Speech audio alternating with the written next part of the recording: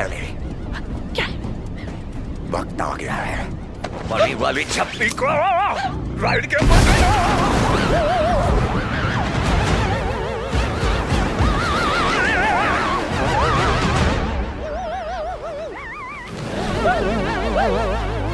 Oh,